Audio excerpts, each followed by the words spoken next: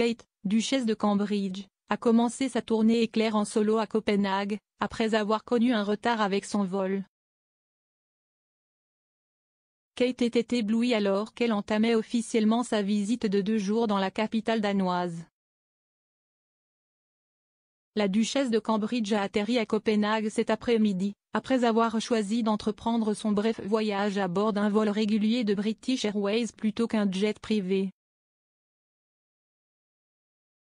Son vol, a rapporté le correspondant royal du Daily Express, Richard Palmer, a atterri avec 30 minutes de retard sur l'horaire prévu. À son arrivée, elle a été accueillie par l'ambassadrice britannique au Danemark Emma Hopkins. Kate a rendu hommage au pays qu'il a accueilli pendant les deux prochains jours avec sa tenue, alors qu'elle enfilait un blazer rouge au-dessus d'un chemisier à volant blanc les couleurs du drapeau danois. Point la duchesse a également enfilé un pantalon noir et un large sac noir ainsi que des talons noirs. Point la duchesse est en voyage d'études pour apprendre et mieux comprendre comment le Danemark est devenu un phare dans son approche de la petite enfance et du développement de l'enfance. Sa première étape dans cette tournée éclair a été à l'université de Copenhague, lorsqu'elle en a appris davantage sur le Copenhagen Infant Mental Health Project.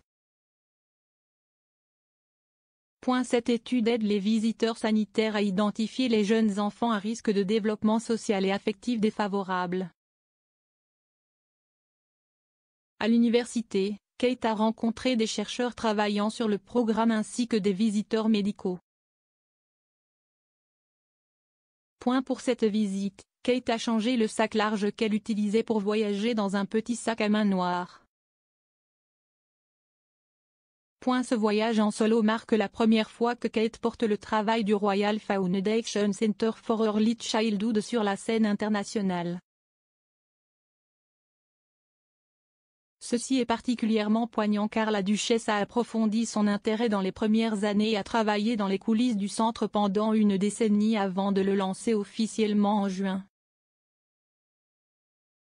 Le palais de Kensington a marqué l'arrivée de Kate au Danemark en partageant sur les réseaux sociaux une vidéo de la duchesse entrant à l'université de Copenhague. Il a également écrit sur Twitter, Nous sommes arrivés à Copenhague. Pour en savoir plus sur l'approche du Danemark en matière de développement de la petite enfance. Explorer comment le Centre pour la petite enfance peut tirer des enseignements de ce travail de classe mondiale. La duchesse a taquiné cette visite plus tôt ce mois-ci, lorsqu'elle a partagé sur le compte Twitter officiel des Cambridge une vidéo montrant ses mains en train de construire un drapeau danois avec des briques Lego. Dans un message personnel qu'elle a signé avec ses initiales, Kate a écrit « J'ai hâte d'apprendre des experts, des parents et des praticiens sur l'approche du Danemark en matière de petite enfance plus tard ce mois-ci.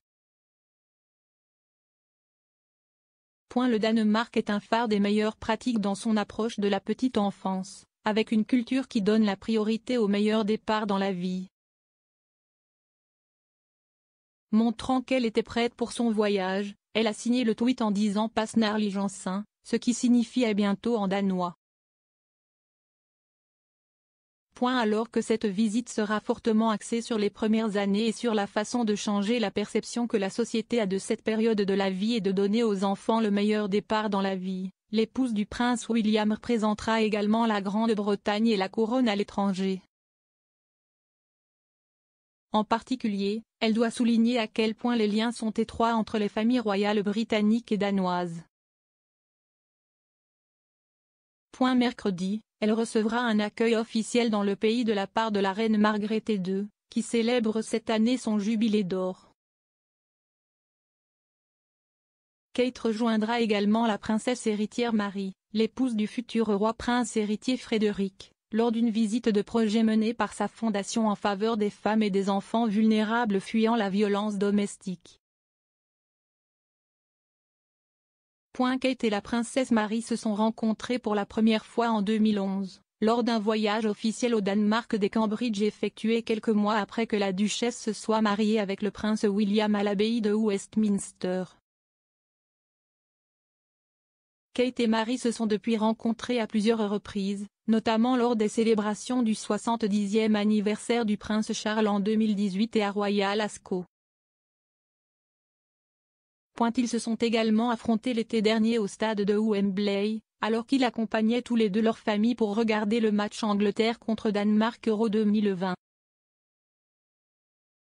De plus, Kate a déjà rencontré la reine Margrethe, car la souveraine danoise était l'une des invitées les plus prestigieuses des noces des Cambridge.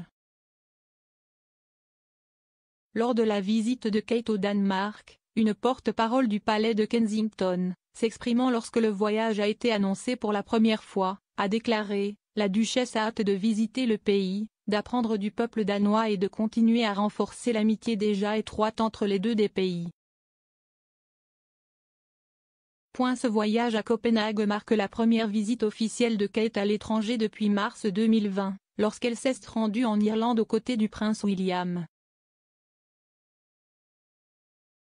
Thank you.